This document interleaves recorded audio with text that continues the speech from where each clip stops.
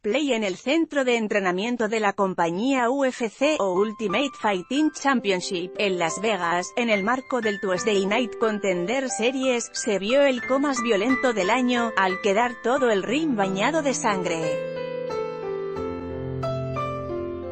Los protagonistas de este enfrentamiento fueron Don Tail con Mayes, uno de los chicos malos del circuito, y el joven Mitchell Sipe, que llegaba al duelo con un récord de 4 a 0 en combates de MMA artes marciales mixtas.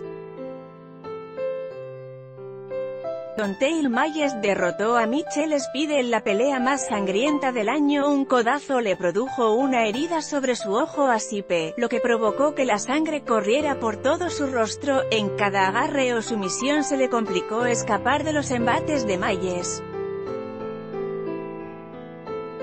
Aunque Tail Mayes también finalizó con varias heridas importantes en su cara, se quedó con la victoria en la segunda ronda.